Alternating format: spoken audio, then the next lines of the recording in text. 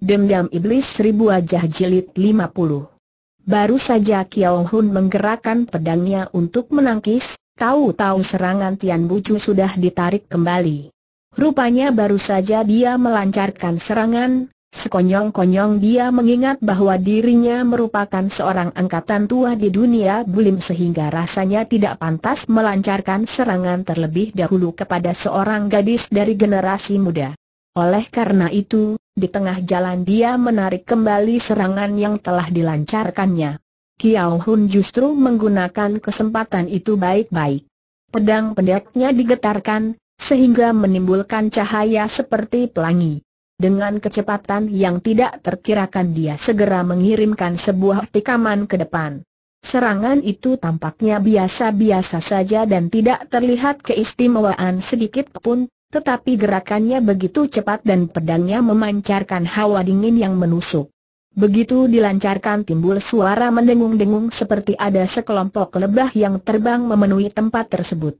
Hal ini membuktikan bahwa jurus yang digunakannya benar-benar tidak dapat dianggap enteng. Selama ini Tian Bucu mengasingkan diri di Yang Sim An. Waktunya kebanyakan dihabiskan dengan bersemedi. Oleh karena itu, boleh dibilang lebih dari separuh hidupnya dia jarang bertarung dengan orang. Tetapi karena keadaan yang mendesak di mana ada tiga puluhan orang lebih yang keracunan hebat, maka mau tidak mau dia harus turun tangan. Apalagi masalah ini menyangkut ketentraman dunia bulim di masa yang akan datang. Belum lagi sore nanti pihak Lam Hai dan Si Yeu akan menyerbu tempat tersebut.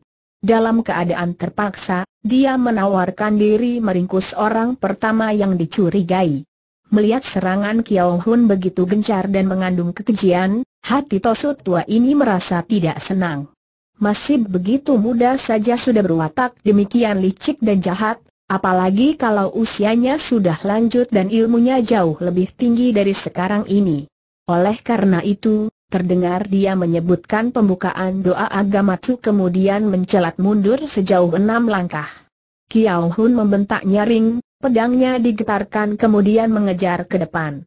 Ketika tangannya bergerak, cahaya berwarna hijau langsung tampak memijar, persis seperti sinar mentari yang baru terbit di ufuk timur, cahayanya memenuhi sekitar tempat itu dan bagai titik hujan yang jatuh dari langit. Sepasang lengan Tian Bucu direntangkan, seperti seekor walet yang ketakutan dia mencelat ke samping sejauh lima enam langkah. Kiao Hun melihat orang tua itu menghindarkan serangannya berkali-kali, diam-diam hatinya merasa heran. Kalau ditelik dari namanya yang sudah menggetarkan kolong langit, tidak semestinya dia terus mengundurkan diri seperti sekarang ini. Pikirannya tergerak, Kembali dia melancarkan sebuah serangan tampak Tian Bucu tetap tenang-tenang saja. Bibirnya malah menyunggingkan seulas senyuman. Ketika pedang Kiao Hun sudah meluncur ke arahnya dan tinggal jarak setengah meter, dan tidak mungkin bisa merubah jurusnya lagi, tiba-tiba lengan kirinya bergerak dengan kecepatan kilat dan mengibas ke depan. Kiao Hun merasa seperti ada serangkum tenaga tidak berwujud yang menahan ketika serangan pedangnya meluncur ke depan. Bukan saja dia tidak sanggup meneruskan serangannya tetapi menariknya kembali pun sulit. Hatinya terkejut bukan kepalang. Justru ketika otaknya berputar mencari jalan keluar, tahu-tahu pundaknya terasa kesemutan, seluruh tenaga dalamnya lenyap seketika.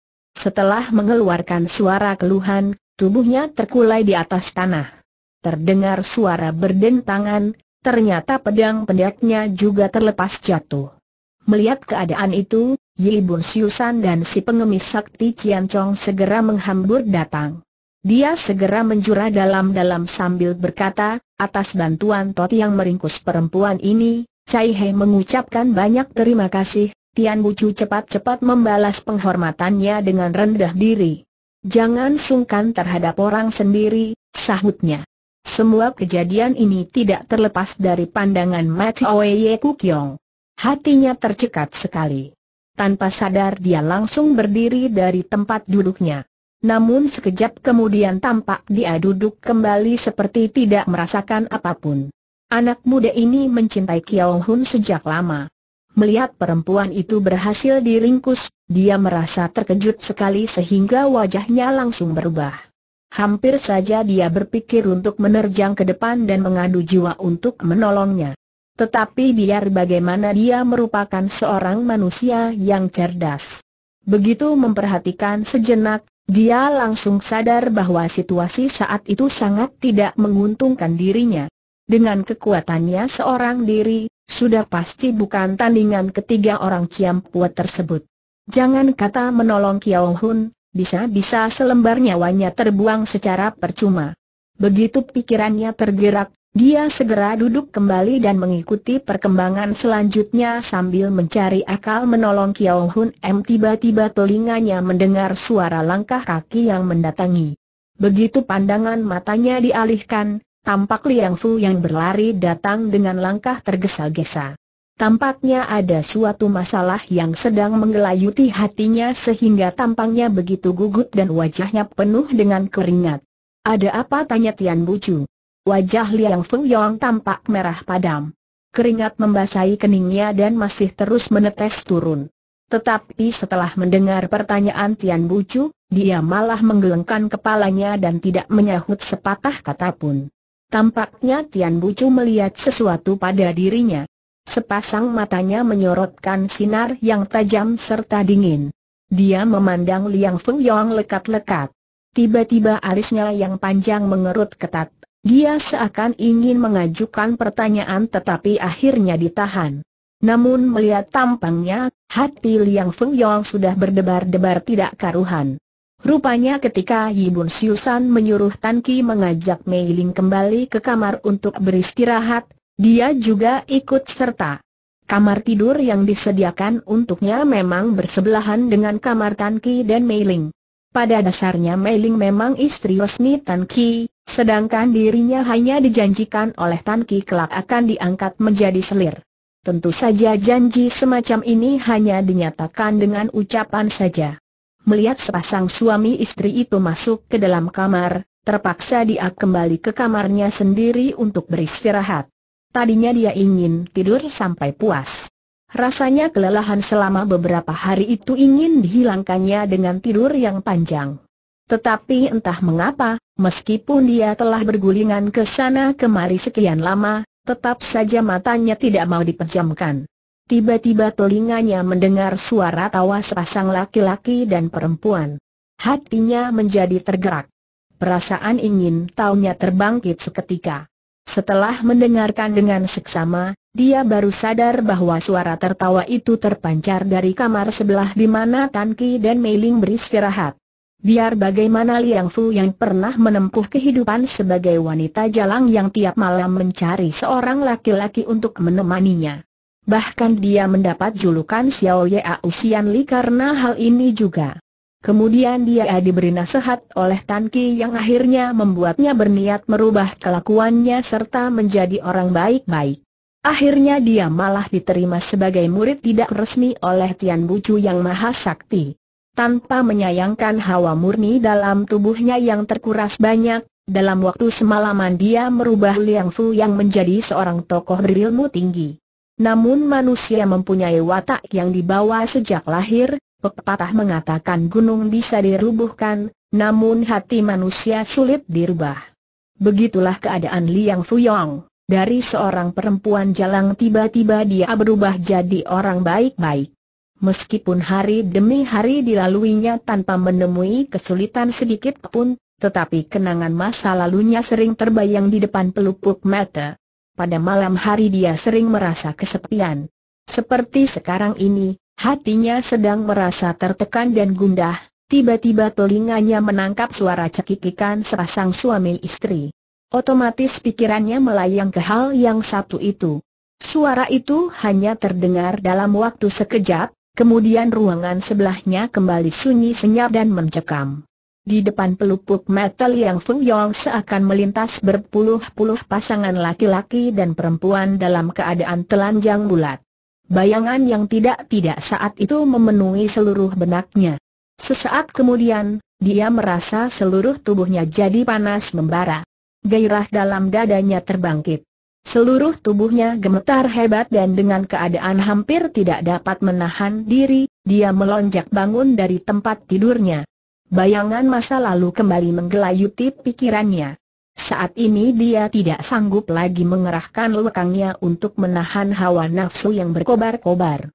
Pandangan matanya beredar ke sekeliling, begitu sepinya keadaan dirinya seakan di dalam dunia ini hanya ada dirinya seorang yang masih hidup. Segulung harapan yang besar menutupi kesadarannya, pikirannya mulai kacau. Dia hanya tahu bahwa dirinya saat ini hanyalah seorang perempuan yang kesepian. Apabila di dalam kamar itu ada seorang laki-laki, tidak peduli tua atau muda, mungkin dia langsung menerjang orang itu untuk menghilangkan rasa dahaga dalam hatinya. Meskipun dia telah bertekad untuk merubah dirinya menjadi orang baik-baik, tetapi pada dasarnya bakat jalang di dalam dadanya masih sering bergejolak dengan kuat. Sebelumnya dia bergolek di atas tempat tidur dengan gelisah. Begitu melonjak bangun, tanpa memperdulikan apa-apa lagi, dia langsung melesat keluar dari kamarnya bagai seekor kelinci yang tidak mempunyai pikiran. Begitu pandangan matanya dialihkan, dia melihat seorang bocah laki-laki berusia kurang lebih 14 tahunan sedang berjalan ke arahnya. Tampaknya bocah itu bekerja sebagai pelayan yang menghantarkan hidangan atau arak bagi para tamu.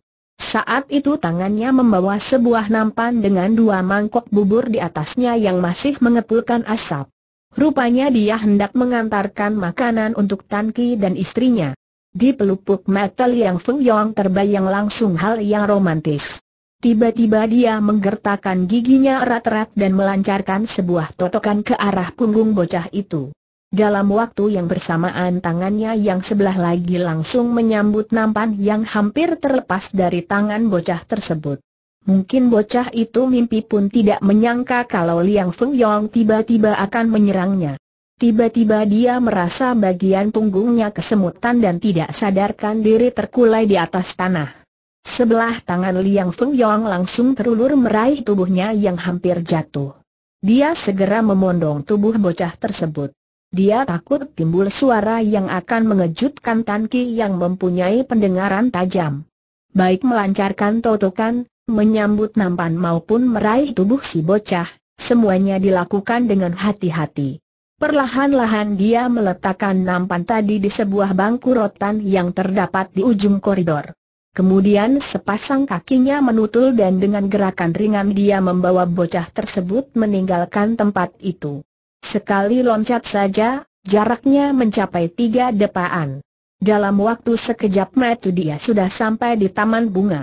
Harum bunga semerbak terendus seiring dengan hembusan angin.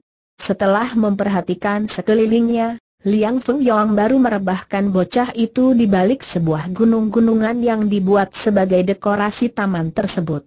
Dia tahu saat ini para hadirin sedang berkumpul di ruang pertemuan. Sedangkan sebagian yang lainnya dikumpulkan dekat ruang peristirahatan karena terkena racun ganas. Dalam waktu yang singkat tidak mungkin ada orang yang muncul di taman bunga ini. Perlahan-lahan dia meletakkan bocah itu di atas tanah. Sepasang matanya yang jeli menatap bocah itu lekat-lekat. Seakan sedang menilai setiap lekuk tubuh dan wajah anak tersebut. Perlu diketahui bahwa orang-orang zaman itu rata-rata bertubuh tinggi besar. Meskipun pelayan itu baru berusia 14 tahunan, tetapi karena tubuhnya yang bongsor, dia jadi terlihat lebih tua dari usia yang sebenarnya. Apalagi wajahnya yang demikian putih bersih benar-benar membuat orang yang melihatnya merasa gemas jalan darahnya ditotok oleh Liang Fuyong. Dengan demikian kesadarannya hilang. Dalam sekejap mata saja, pakaiannya sudah dibuka oleh gadis itu. Bentuk tubuhnya kekar, wajahnya yang terlelap dalam tidur sungguh manis dipandang. Liang Fuyong yang memandangnya sampai merasa tegang. Keringatnya bercucuran. Tangannya gemetar dan gairah dalam dadanya meluap-luap. Semacam perasaan yang aneh membaur dalam hatinya. Sekian lama dia memandangi bocah itu dengan termangu-mangu. Tiba-tiba dia melonjak bangun dan menindih tubuh anak itu. Kulit mereka saling bersentuhan. dia merasa seperti ada aliran semacam kilat yang menyambar dirinya. Sekonyong-konyong tubuhnya menggigil dan pikirannya menjadi agak sadar. Dia langsung melonjak bangun. Liang Feng Yong mengangkat tangannya dan menepuk kepalanya sendiri. Mulutnya menggumam seorang diri. Mengapa aku demikian rendah? Bukankah aku bisa mencelakai seorang anak yang baru tumbuh dewasa? Setelah mendapat nasihat dari adiki dan menerima warisan dari suhu, ternyata aku masih belum berubah juga. Ya Tuhan, apakah aku Liang Feng Yong sejak lahir memang telah ditakdirkan menjadi perempuan jalang air mata yang sebesar kacang kedelai terus menetes membasahi pipinya. Dia merasa apa pun yang ada di hadapannya menjadi samar-samar. Tanpa sadar dia teringat setengah bulan yang lalu sempat mengorbankan diri demi Tan Ki di Taman Bunga Keluarga Liu. Mengingat ketampanan dan kegagahan anak muda itu, hatinya kembali tergetar. Dia merasa bingung dengan keadaannya sendiri. Padahal dia sempat tersadar dan bertekad untuk berubah. Mengapa di saat seperti ini, hampir saja dia tidak dapat menahan diri dan melakukan hal yang rendah itu? Dengan demikian, Pikirannya kembali melayang ke masa di mana dia bertualang mencari kesenangan setiap malam. Perbuatannya begitu rendah. Meskipun di saat menjalankannya dia sempat mendapatkan kepuasan lahiriah, tetapi setelah semuanya berlalu, dia tetap merasa jiwanya kosong melompong. Dia malah merasa begitu kesepian seakan dia tidak pernah mempunyai siapa-siapa di dunia ini. Apabila saat ini dia tidak bisa mengendalikan hasrat dalam hatinya dan tetap melakukan perbuatan yang rendah itu, setelah bocah itu tersadar, tentu seluruh bukit itu akan gempar mendengar perbuatannya. Namun, haruskah demi kesenangan sekejap, dia mesti membunuh anak yang tidak berdosa itu agar tidak membuka mulut? Semakin dipikirkan, Liang Feng Yong semakin bimbang. Semakin lama perasaannya juga semakin takut. Untuk sesaat benci dan menyesal berbaur menjadi satu dalam hatinya. Dia benci kepada dirinya sendiri yang masih belum berubah juga. Di samping itu dia juga menyesali apa yang hampir dilakukannya. Tiba-tiba tangannya diangkat ke atas kemudian dia menempeleng pipinya sendiri keras-keras. Angin bertiup semilir, air matanya yang mengandung penyesalan tidak terkatakan terus mengalir membasahi pakaiannya. Dia juga menghentakkan kakinya di atas tanah dengan kesal. Setelah menangis beberapa saat, cepat-cepat dia mengenakan kembali pakaian si pelayan cilik itu. Kemudian kakinya menendang membuka totokan pada jalan darahnya, dalam waktu yang hampir bersamaan, tubuhnya berkelebat pergi secepat kilat. Meskipun pikirannya sudah sadar kembali, tetapi untuk sesaat dia masih merasa bingung menentukan arah yang harus ditujunya. Hatinya juga merasa agak berat seakan baru saja kehilangan suatu benda yang disukainya. Dengan perasaan hati yang galau, tanpa sadar dia kembali lagi ke kamarnya sendiri. Tetapi dia seperti menghindarkan diri dari sesuatu sehingga kamarnya sendiri pun tidak berani dimasukinya. Tanpa tujuan yang pasti dia meneruskan langkah kakinya. Ketika dia melewati kamar Tan Ki, Tiba-tiba terdengar suara bisikan yang mesra, tidak syak lagi sepasang suami istri itu sedang bersenda gurau dengan gembira. Hatinya kembali tergetar. Tiba-tiba saja dia mempercepat langkahnya dan lari meninggalkan tempat itu. Beberapa saat kemudian, dia sudah sampai di ruang pertemuan. Meskipun telah lewat beberapa waktu, tetapi wajahnya masih merah padam. Tentu saja Tian Bucu tidak tahu bahwa dia tadi sempat pergi kemudian kembali lagi, sedangkan keadaannya sudah berubah banyak. Tetapi dia merupakan seorang tokoh yang sakti.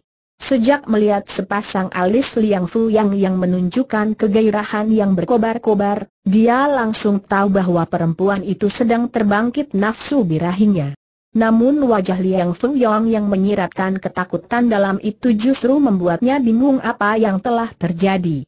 Sepasang matanya yang menyorotkan sinar tajam terus memandang diri Liang Feng Yong lekat-lekat. Melihat tampangnya yang berwibawa itu, jantung Liang Feng Yong semakin berdebar-debar. Perasaannya menjadi tidak tenang seperti orang yang menunggu jatuhnya hukuman. Tiba-tiba terdengar Yi Bun Siusan berkata, harap Tot yang mengajak muridmu itu kembali ke kamar. Sore nanti kita akan menguras banyak tenaga menghadapi golongan Lem Hei dan Si Yeu.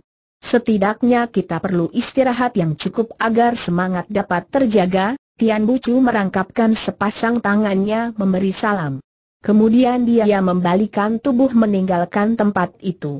Justru karena perkataan Yi Bun Siusan, Liang Fu Yong seakan terlepas dari intayan mata Tian Bucu yang tajam. Cepat-cepat dia mengikuti di belakang suhunya pergi secepat kilat. Cian Chong menatap bayangan punggung kedua orang itu sampai menghilang di kejauhan. Kemudian dia berkata dengan suara lirih, Tua bangka, bagaimana caranya mengurus perempuan ini sembari bertanya, tangannya menunjuk kepada Kiao Hun. Sikap perempuan ini tenang sekali. Meskipun sudah terjatuh ke tangan kita, tetapi dia bukan orang yang mudah dihadapi.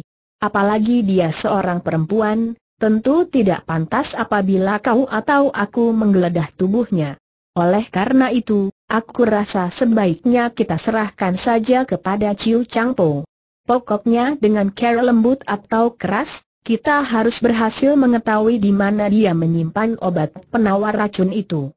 Ini merupakan satu-satunya jalan apabila kita ingin menolong orang secepatnya, Cian Chong langsung tertawa lebar mendengar ucapannya. Akal yang bagus katanya sembari berjalan ke arah Ciu Changpo yang sedang memejamkan matanya mengatur pernafasan. Sejak jalan darahnya tertotok oleh Tian Bucu, Kiao Hun segera memejamkan matanya dan mendengarkan pembicaraan orang-orang itu dengan seksama. Sikapnya begitu tenang dan sejak awal hingga akhir dia tidak mengucapkan sepatah kata pun. Dia bukan saja tidak memperlihatkan tampang ketakutan, bahkan seakan tidak ambil peduli tentang mati hidupnya sendiri. Yibun Siusan dapat merasakan gadis itu sudah mengambil keputusan untuk tidak memperdulikan mati hidupnya sendiri. Diam-diam dia merasa kagum sekali. Tampangnya yang wajar dan tenang membuat orang tidak menduga bahwa dia sudah bertekad menunggu datangnya malaikat el maut. Meskipun seorang tokoh berilmu tinggi atau pendekar yang gagah perkasa, biasanya juga merasa gentar apabila tahu dirinya akan mendapat hukuman mati.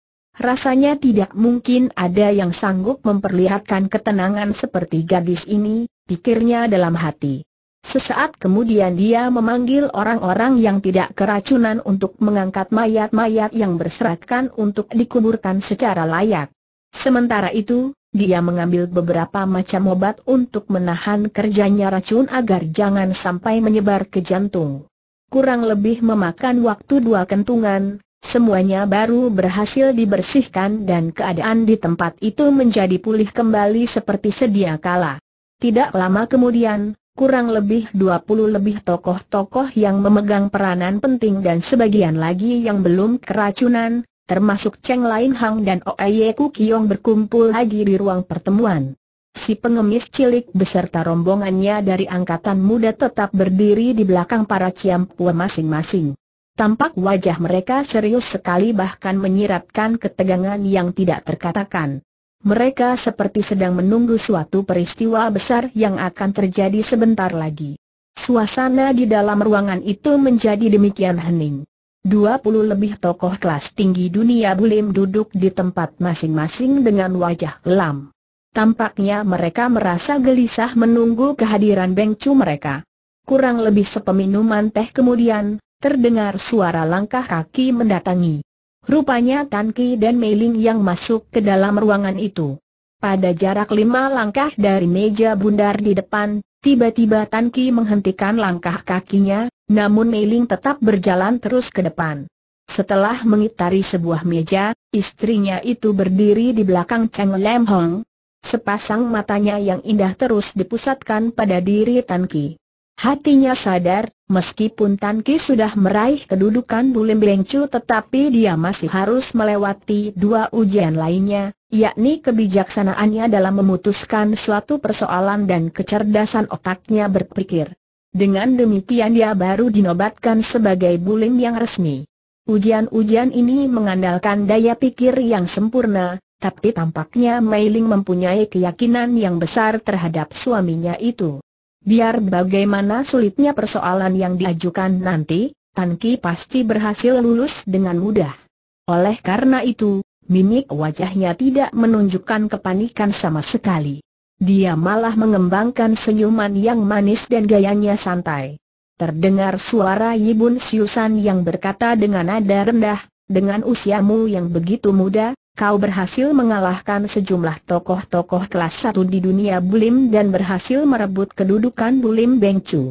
Oleh karena itu orang-orang gagah yang hadir di puncak Bukit Tok Leong Hang ini merasa kagum sekali dengan ilmu pedangmu. Tetapi setelah aku perhatikan sepanjang hari, caramu menangani persoalan terlalu ceroboh. Begitu menghadapi suatu masalah, kau tidak mempertimbangkan segalanya dengan matang dan tidak menggunakan care yang baik untuk menyelesaikannya. Apabila membiarkan kau menjabat kedudukan penting ini dan menyerahkan tanggung jawab yang besar terhadap dunia bulim, mungkin akibat perbuatanmu malah ribuan nyawa bisa menjadi korban.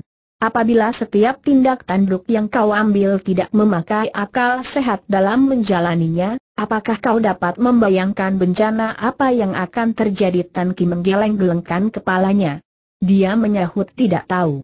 Hatinya malah diam-diam merasa heran.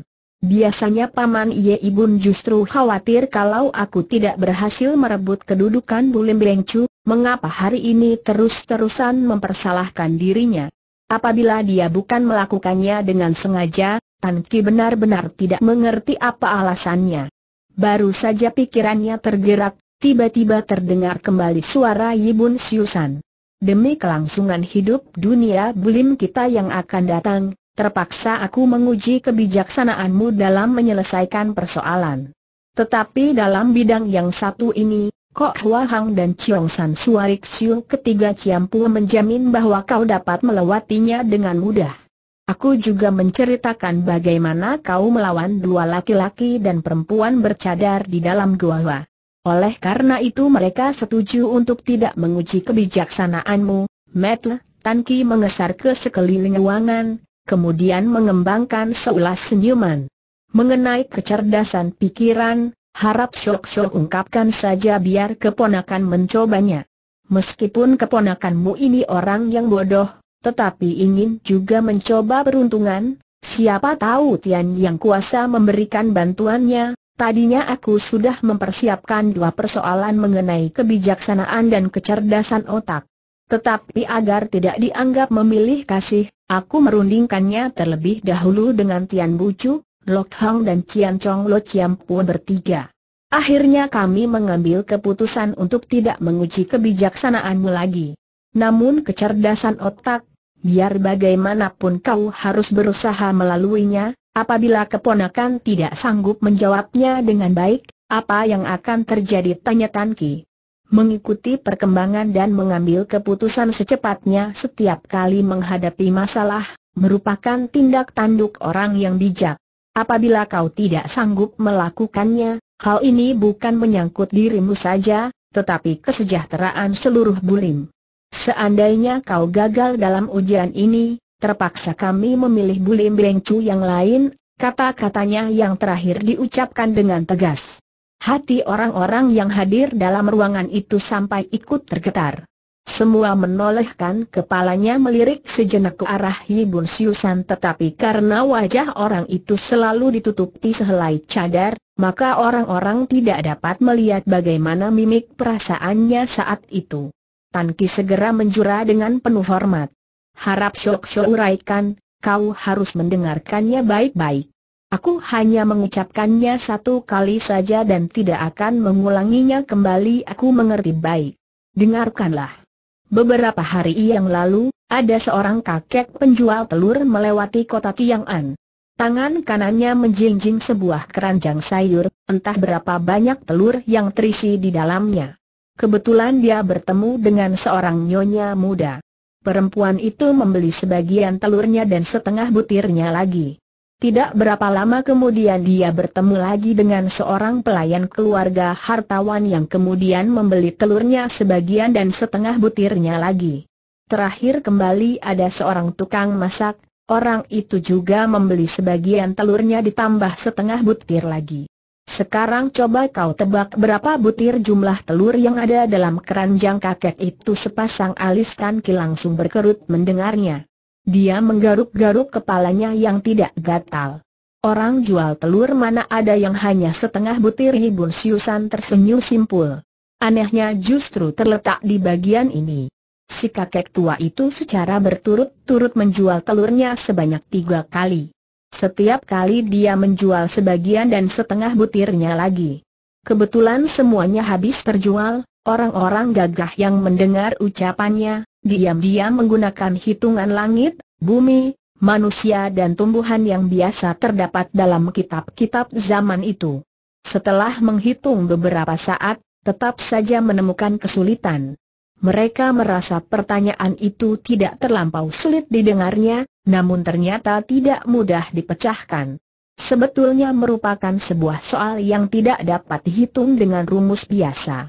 Suasana semakin lama semakin menegangkan. Mereka menunggu dengan hati berdebar-debar. Kurang lebih sepeminuman teh kemudian, sepasang mata, Tanki yang tadinya terpejam merenung, tiba-tiba membuka kembali.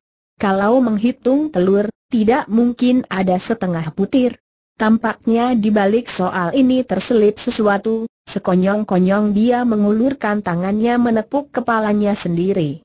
Kata-katanya pun terputus. Rupanya saat itu, tiba-tiba suatu ilham muncul di benaknya. Matanya terpejam kembali. Dengan hati-hati dia mengingat-ingat dalam hatinya. Sesaat kemudian tampak dia membuka matanya kembali dengan bibir mengembangkan seulas senyuman, apabila ingin memecahkan soal ini, maka kita harus menghitungnya dengan rumus jari tangan, yakni mulai dari angka satu, Yibun Siusan tertawa lebar mendengar ucapannya. Dengan demikian berarti kau sudah tahu rahasia soal ini, begitu kata-katanya diucapkan, semua orang yang hadir di tempat itu lantas memusatkan perhatian mereka pada diri Tanki. Tiba-tiba terdengar suara teriakan Tanki. Aku berhasil menghitungnya. Jumlah telur yang ada dalam keranjang si kakek tua itu semuanya ada tujuh butir Bagaimana kau bisa mengatakan bahwa jumlahnya ada tujuh butir wajah Tanki merah jengah dengan malu-malu dia menjawab pertanyaan Yibun Siusan jawaban dari soal ini perlu dimengerti secara mendalam. Tidak mudah diuraikan dengan kata-kata. Apabila Syok-Syok menanyakan bagaimana keponakan dapat mengetahuinya, mungkin tidak mudah menerangkannya secara jelas, jawabannya sudah benar, tetapi coba kau terangkan dengan cara, baru saja mengucapkan beberapa patah kata, Tiba-tiba terdengar suara langkah kaki mendatangi. Dengan demikian kata-katanya jadi terhenti. Begitu pandangan mata dialihkan, dia melihat seorang laki-laki kekar yang dikenalnya sebagai salah seorang penjaga di depan masuk ke dalam dengan tergesa-gesa. Pada jarak lima langkah dari tempat Tan Ki, dia segera menghentikan langkah kakinya. Tubuhnya membungkuk dalam-dalam memberi hormat. Sute dari kau cupat kut kau mohon bertemu di luar, mendengar laporannya, wajah orang-orang yang hadir dalam ruangan itu langsung berubah. Mereka saling lirik kemudian berbisik-bisik antara rekan masing-masing. Sepasang alis Yibun Siusan langsung berkerut ketat. Persilahkan dia masuk katanya. Selesai berkata, dia langsung berdiri. Kemudian dia menyodorkan tempat duduknya untuk Tanki dan tersenyum kau dapat menjawab soal tadi dengan baik, maka orang-orang yang hadir di sini juga merasa puas telah memilih kau sebagai Bulim Beng Chu. Harap mulai sekarang ini, dalam menangani masalah apa pun kau harus menggunakan akal sehat. Jangan memilih kasih, serta tegas dalam memberikan hadiah maupun hukuman. Jangan sampai menyalahgunakan kepercayaan yang diberikan oleh saudara-saudara kita, Tan Ki segera menjawab dengan sopan, anak Ki mempersembahkan diri ini untuk dunia bulim. Rela berkorban jiwa dan raga demi kelangsungan dunia bulim.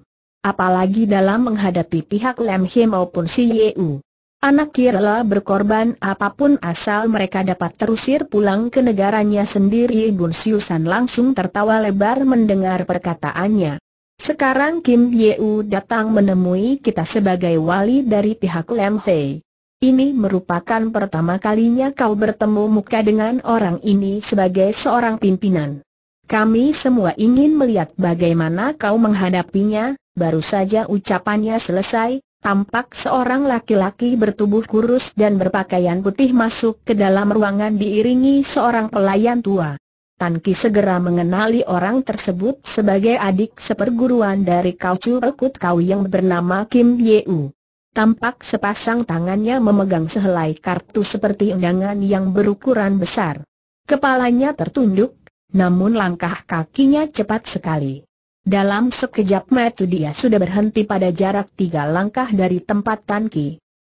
Melihat jubahnya berkibar-kibar seakan tidak membawa senjata apa pun. Dia segera mengembangkan seulas senyuman. Kambing masuk ke dalam gua harimau, apakah tidak takut mendapat hinaan sepasang metu Kim Yeu yang tajam mengedar ke sekelilingnya sejenak. Kemudian dia mengeluarkan suara tertawa terkekeh-kekeh. Kedatanganku saat ini merupakan utusan. Apabila saudara tidak takut ditertawakan orang-orang sedunia, silahkan turun tangan sesuka hatimu sepasang tangannya terulur ke depan, Terasa ada serangkum tenaga yang kuat menekan datang ke arah Tanki. Anak muda itu melihat dia mengerahkan tenaga dalamnya sambil menyodorkan surat undangan di tangannya. Diam-diam dia merasa geli. Namun kedudukannya sekarang adalah seorang bulim bengcu, perbuatan apa pun yang dilakukannya harus serius dan tidak boleh menunjukkan sikap kekanak-kanakan. Oleh karena itu bibirnya tetap tersenyum lembut. Cai Ha tidak berani menerima penghormatan sebesar ini, tangan kanannya mengibas, gayanya seperti sedang meminta Kim Yeu tidak perlu banyak adat, tetapi sebetulnya dia telah mengerahkan tenaga dalamnya dan menyambut datangnya kekuatan yang dilancarkan Kim Yeu dengan keras. Dua gulung tenaga yang dahsyat langsung beradu saat itu juga. Timbul angin yang kencang dan menerpa ke sekitar kedua orang itu. Bahkan pakaian beberapa orang yang duduk dekat dengan mereka langsung berkibar-kibar. Setelah kedua gulung tenaga beradu, Tan Ki tetap duduk di tempatnya semula tanpa bergeming sedikit pun. Sedangkan jubah Kim Yeu melambai-lambai, kakinya goyah dan tubuhnya terhuyung-huyung tiga kali. Sampai cukup lama dia tidak dapat menegakkan tubuhnya. Keadaannya saat itu seperti orang yang baru minum arak dalam jumlah yang banyak. Akhirnya tanpa dapat mempertahankan diri, dia tergetar mundur sejauh tiga langkah. Tampak lantai batu di mana kakinya berpijak tadi, sekarang retak dan debu-debu berterbangan ke mana-mana baru saja mengadu kekuatan satu kali, hati Kim Yeo sudah tercekat tidak kepalang. Diam-diam dia berpikir, baru beberapa hari tidak bertemu, rasanya tenaga dalam orang ini sudah bertambah hebat, pikirannya tergerak, Terdengar mulutnya berkata, usia saudara masih muda tetapi tenaga dalam yang kau miliki ternyata sudah demikian tinggi. Benar-benar membuat hati ini menjadi kagum, dia segera menyodorkan surat di tangannya ke depan. Kemudian terdengar dia melanjutkan kata-katanya. Heng Te mendapat perintah dari Su Heng dan Toa Tocu untuk mengantarkan surat ini. Harap saudara membacanya kemudian sekalian mengirimkan balasannya, Tan Ki langsung menyambut surat itu. Dia melihat di bagian atasnya tertulis, menurut berita yang tersebar, saudara berhasil mengalahkan jago-jago lainnya dan berhasil merebut kedudukan Bulim Bengcu. Hal ini benar-benar mengejutkan pihak kami. Lagi pula kau langsung menyatakan tentang berdirinya perkumpulan ikat pinggang merah, membaca sampai di sini, Tan Ki langsung mengeluarkan suara tawa dingin. Cepat sekali berita ini tersebar selanjutnya dia membaca lagi isi surat tersebut, dengan demikian, kedua Bun yang serta tiga orang Tongcu serta anggota dari Kaucu Pekut Kau mengambil keputusan untuk mengunjungi Bukit Tok Liong Hang sore ini untuk melihat serta meminta pelajaran ilmu dari wilayah Tionggoan yang konon hebat sekali. Karena takut mengganggu dan dianggap tidak sopan, maka kami sengaja mengirim Kim Yeu sebagai utusan untuk mengantarkan surat ini. Sekalian ingin menanyakan apakah saudara setuju dengan waktu dan tempat yang telah kami tetapkan di bawahnya tertera tanda tangan Toa Tocu dari Lem He dan Kacu dari Pekut Kau. Setelah membacanya sampai selesai, Tan Ki segera menyodorkan surat itu kepada Yibun Siusan agar dibaca oleh orang tua itu. bibirnya tetap tersenyum simpul. Kalau kalian sudah mengambil keputusan untuk menyerbu Bukit Tok Liong Hang ini sore nanti, buat apa membuat letih tangan sendiri dengan menulis surat ini?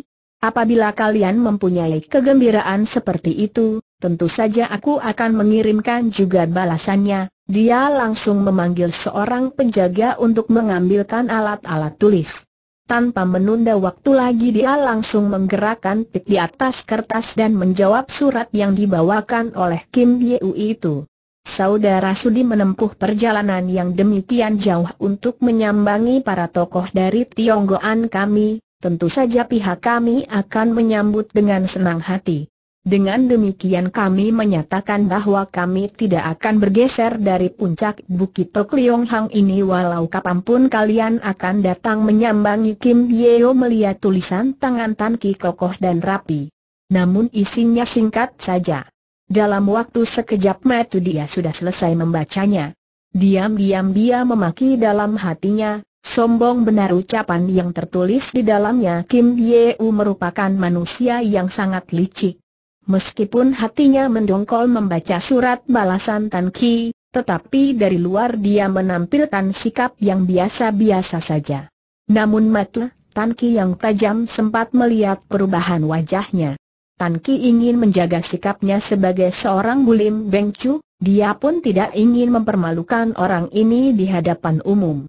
Oleh karena itu dia pura-pura tidak tahu dan tetap berkata dengan suara yang lembut dua negara berunding, tidak boleh melakukan kekerasan terhadap utusan yang dikirimkan.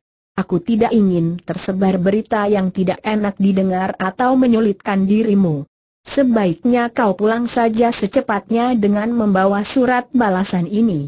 Tetapi apabila lain kali bertemu lagi, kita sama-sama telah menjadi musuh bebuyutan. Aku rasa kau sendiri mengerti apa yang harus dilakukan, Tan Ki melipat kertas surat itu kemudian menyodorkannya ke hadapan Kim Yeu. Saat ini jarak antara keduanya hanya setengah depaan lebih. Dengan mengulurkan tangan saja dapat mencapai tubuh lawannya. Kim Yeo melihat Tan Ki mengulurkan tangannya ke depan dengan wajar, seakan tidak berjaga-jaga sama sekali, hatinya sekonyong-konyong tergerak. Cepat-cepat dia menarik nafas dan diam-diam mengerahkan seluruh tenaga dalamnya. Dia berpikir ingin menggores tangan Tanki dengan jarinya yang mengandung racun ketika menyambut surat balasan tersebut. Apabila berhasil, goresan luka di tangannya pasti terkena racun dan dalam waktu yang singkat menyebar ke seluruh tubuh serta mati seketika. Beberapa hari yang lalu, Kim Yeu justru menggunakan jari kukunya yang beracun itu melukai Tan Ki sehingga hampir saja nyawa anak muda itu melayang. Begitu pikirannya tergerak, tangannya segera terulur keluar menyambut surat tersebut. Sepasang matanya menatap Tan Ki lekat-lekat seakan ingin melihat perubahan wajah anak muda itu. Kebetulan pada saat itu, pandangan matanya bertemu dengan sepasang mata Tan Ki yang juga sedang menatap kepadanya.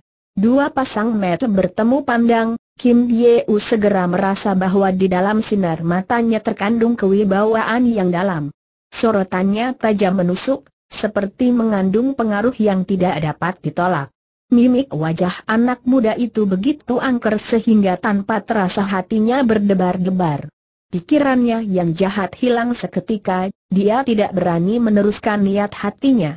Tanpa berkata sepatah pun, dia langsung menerima surat balasan tersebut dan memasukkan ke balik pakaian. Tetapi saat itu dalam hatinya telah timbul perasaan ngeri sehingga dia langsung membalikan tubuhnya dan berjalan ke depan beberapa langkah. Tiba-tiba dia seperti teringat pada suatu persoalan yang besar sekali. Tanpa menghentikan langkah kakinya dia menolehkan kepalanya dan mengedarkan pandangan matanya. Sepasang alisnya langsung menjungkit ke atas, wajahnya menyiratkan perasaan bimbang, tetapi akhirnya dia meneruskan juga langkahnya meninggalkan tempat tersebut. Rupanya ketika dia menolehkan kepalanya tadi, dia merasa tidak menemukan bayangan Kiao Hun di antara para tokoh-tokoh yang hadir di tempat itu. Biar bagaimana perempuan itu merupakan match-match yang dikirim pihak Lem Hebun untuk menyelidiki perkembangan di daerah Tionggoan. Ilmunya sangat tinggi karena mendapat didikan langsung dari Toa Tochu. Seandainya dalam pertandingan dia tidak sanggup merebut kedudukan Bulim Bengcu, tetapi berdasarkan kepandaiannya, paling tidak perempuan itu pantas menyandang gelar pendekar pedang tingkat sembilan. Kali ini orang-orang yang hadir dalam ruangan merupakan anggota perkumpulan ikat pinggang merah, tetapi sebagai salah seorang peserta pertandingan, seharusnya Kiao Hun juga termasuk anggota perkumpulan itu, mengapa saat ini bayangannya malah tidak kelihatan? Jangan kata orang itu pergi dengan hati bertanya-tanya, Tan Ki sendiri sudah dapat memastikan bahwa dia akan menceritakan apa yang dilihatnya kepada Su Heng serta Sang Tochu. Setelah Kim Yeu meninggalkan tempat itu, Tan Ki segera berdiri dengan bibir menyunggingkan senyuman. Saat ini waktu masih ada tiga kentungan sebelum sore hari. Sahabat-sahabat dari perkumpulan kita ini sebagian sudah terserang racun. Mereka tentu saja tidak dapat menghadapi musuh. Harap kalian menggunakan waktu yang singkat ini untuk beristirahat agar semangat pulih kembali. Pertarungan yang akan berlangsung senja nanti menyangkut nasib dunia bulim kita. Cai He hanya mengandalkan bantuan dari saudara-saudara sekalian, belum lagi ucapannya selesai, tiba-tiba terdengar seseorang berteriak menukas, Bang Chu tidak perlu rendah diri, pihak Lam Hei dan Xiao bergabung untuk menyerbu kita, care mereka licik dan keji. Kita pun tidak perlu sungkan menghadapi manusia-manusia seperti itu. Meskipun harus bertarung sampai titik darah penghabisan, pokoknya kita telah mendengar perintah Bengcu. Tetapi, hamba mempunyai suatu masalah yang mengganjal dalam hati, yang mungkin tidak enak didengar apabila diungkapkan Tan Ki melirik orang itu sejenak kemudian tersenyum ramah. Silahkan saudara katakan saja terus terang, Xiao Te justru ingin mendengarnya, orang itu merenung sesaat, seakan sedang mencari kata-kata yang tepat untuk mengungkapkan isi hatinya. Beberapa waktu kemudian dia baru berkata dengan perlahan-lahan. Meskipun di dalam dunia bulim kita sering terjadi budi dan dendam yang berakhir dengan pembunuhan, tetapi selama ratusan tahun boleh dibilang masih saling memperhatikan. Setiap kabar berita cepat tersebar. Meskipun orangnya belum pernah bertemu, kebanyakan namanya saja sudah pernah terdengar. Hamba sendiri seorang pesilat kasar yang sudah puluhan tahun berkecimpung di dunia Kangong. Boleh dibilang banyak hal yang sudah dialami ataupun dengar dari sana-sini. Dalam pesta yang berlangsung tadi, puluhan rekan kita mati secara mengenaskan karena terserang racun yang dimasukkan dalam arak. Walaupun hamba tidak mempunyai hubungan apa-apa dengan orang-orang itu, namun hati ini tetap merasa pedih melihat mereka mati dengan cara demikian. Hamba merasa marah dan seakan menuntut keadilan bagi mereka. Oleh karena itu, hamba memberanikan diri menanyakan kepada Beng Chu, entah cara apa yang akan diambil untuk menindak Seng pelaku kejahatan tersebut? Mendengar ucapannya, untuk sesaat Tan Ki termangu-mangu. Kemudian dia malah berbalik tanya kepada orang itu, bagaimana menurut pendapat saudara sendiri sepasang mata orang itu mengedar ke sekeliling ruangan dan melihat sekilas kepada orang-orang yang hadir, kemudian dia baru berkata lagi dengan perlahan-lahan, apabila orang itu memang pelaku kejahatan tersebut, harap Bengcu perintahkan orang untuk membawanya keluar dan tentukan hukuman yang harus diterimanya di hadapan para sahabat ini sekaligus menyelidiki di mana obat penawar racun itu disimpan sehingga kita bisa memberi pertolongan lebih awal kepada rekan-rekan yang sekarat. Baru saja perkataannya selesai, terdengar suara-suara yang menyatakan kesepakatan mereka. Melihat emosi para anggotanya sudah mulai terbangkit, sepasang alis Tanki langsung menjungkit ke atas. Sejenak kemudian dia sudah pulih kembali seperti sedia kala. Baiklah, saudara boleh persilahkan Ciu Changpo membawanya keluar, orang itu mengiyakan kemudian langsung menghambur pergi. Tidak lama kemudian, dia kembali lagi dengan diiringi oleh seorang nenek berambut putih, yakni Ciu Changpo yang menyeret seorang gadis berpakaian merah. Ketiganya masuk ke dalam ruangan dan berhenti pada jarak lima langkah dari tempat duduk Tanki. Pandangan mata anak muda itu segera dialihkan, Dia melihat sepasang pipi Kiao Hun yang biasanya mulus dan putih, sekarang sudah membengkak dan penuh dengan guratan bekas tamparan jari tangan. Rambutnya acak-acakan. Walaupun belum sampai satu kentungan dia dibawa oleh Chiu Changpo, tetapi tampaknya mendadak saja dia menjadi kurus banyak, wajahnya kuyu, langkah kakinya tertatih-tatih. Tidak diragukan lagi, bahwa dia telah dihajar cukup keras oleh si nenek tua bekas gurunya itu. Melihat keadaannya, hati Tan Ki terasa serba salah. Dia tidak dapat mengatakan bagaimana perasaannya saat itu, entah pilu atau pedih. Dia menatap wajah Kiao Hun yang bengap itu dengan termangu-mangu. Kembali terdengar suara orang tadi berkata kepada Tan Ki, hamba menuruti perintah Beng Chu dan sudah membawa si tersangka utama ke dalam ruangan ini. Harap Beng Chu tentukan keputusannya, saat itu Tan Ki sedang mengenang masa lalunya. Meskipun suara pembicaraan orang itu sangat lantang, tetapi dia seperti tidak mendengarnya. Dia tidak mengucapkan sepatah kata atau bergeming sedikit pun dari tempat duduknya. Saat itu juga bayangan Kiao Hun yang menempuh bahaya menolong jiwanya bahkan sampai diusir dari pintu perguruan seakan melintas di depan pelupuk matanya. Akhirnya gadis itu terpaksa mencari jalan keluar sendiri untuk mengangkat derajatnya sehingga dia rela menjadi selir Tocu Lam Hebun. Dari awal sampai akhir, meskipun Kiao Hun telah salah langkah sehingga sekarang memetik hasilnya sendiri. Tetapi kalau dipikirkan dengan seksama, semua ini timbul akibat dirinya. Perlu diketahui bahwa Tan Ki adalah seorang yang berwatak tinggi hati.